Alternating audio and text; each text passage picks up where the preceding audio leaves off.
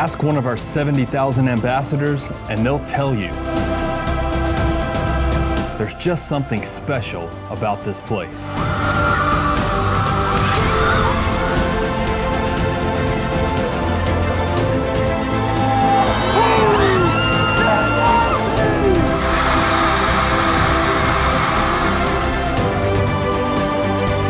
Valdosta State University.